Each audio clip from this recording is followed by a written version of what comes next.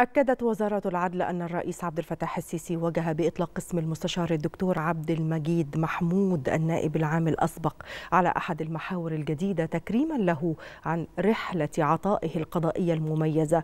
وفي بيان لها أكدت وزارة العدل أنها تتقدم مع جموع القضاة في كل الجهات والهيئات القضائية بأصدق الشكر والامتنان للرئيس عبد الفتاح السيسي على هذا التكريم الذي يؤكد تقدير سيادته لرجال القضاء المتميزين ولدورهم الراسخ في خدمة وطنهم.